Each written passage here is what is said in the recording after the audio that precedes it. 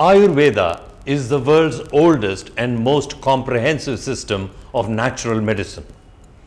Ayurveda originated in the Vedic civilization of ancient India and is recognized by the World Health Organization. Ayurveda says that before we exist in physical form, we existed in a more subtle form known as the soul. See, as far as gems are concerned, this aspect of gems are discussed in the Rasashastra context of Ayurveda. Here Rasa, Ayurvedic uh, chemists generally believe or alchemists generally believe that the whole world is pervaded by Rasa. Rasa they mean mercury.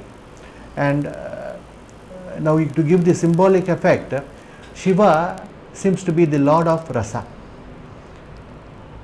all the material evolved from rasa is combined in that particular compre the comprehensive uh, compendium called Rasashastra. There are very various uh, good books uh, I mean attributed to this science. There are about uh, nine major gems which are uh, neatly dealt with in this literature. In today's day to day life, not all of them are uh, generally prescribed because of their cost prohibitiveness. Otherwise, most of them can be generally used in the in a day to day practice. I would like to mention that Ayurveda has got eight branches, out of which Rasashastra is one which deals with all the minerals, animal and herbal products and other things. The gems come under this particular category. It can also be called the Ayurvedic alchemy because it deals with all such materials. The speciality about this particular branch is that it, uh, it can treat in the cases of emergency and acute conditions because it can be used in very small doses. That's the main reason why it is so famous. Gems are a concentrated form of energy.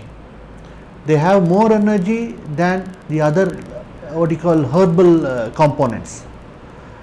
That is why they are valued both by as far as their price is concerned and as far as the value or the what you call the energy part is concerned.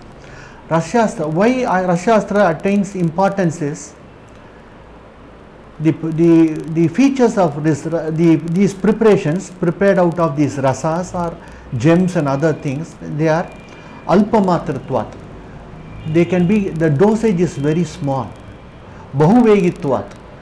They, they, they act very precisely and penetrate very fast. Something like an antibiotic or a steroid or something like that.